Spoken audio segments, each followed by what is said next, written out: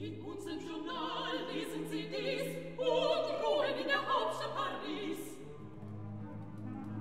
Für die Rechte der Armen gibt's ein neues Indiz.